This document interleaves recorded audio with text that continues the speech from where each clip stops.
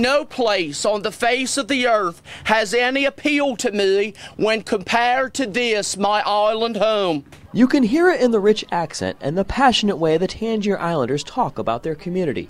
Deeply rooted in the belief of God and country, and survives on the bounty that local watermen catch from the Chesapeake Bay. Without access and safe access to their uh, harbor and to the sea, they can't uh, do what they uh, what they have to do to get the income and the food in here to the island. Since 1996, a plan to build a jetty to protect the navigation channel and harbor has been in the works. However, due to a lack of available local and federal money, that plan sat dormant up until this past summer. Thanks to a cost sharing agreement in which the Commonwealth of Virginia is taking on the financial role of local sponsor, the long awaited jetty project is moving forward.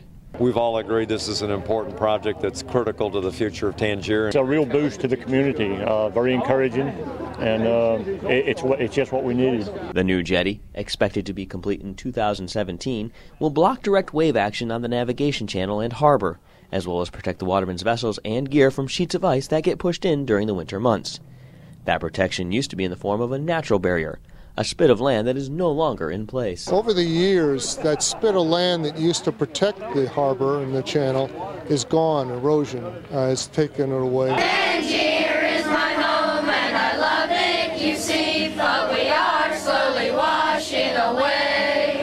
For the residents of Tangier, the restored protection means watermen in this quaint Chesapeake Bay Island community will have a little less to worry about in terms of damage occurring to the fleet. It means uh, being able to remain out here and uh, preserving our way of life. From Tangier Island, Virginia, Patrick Bloodgood.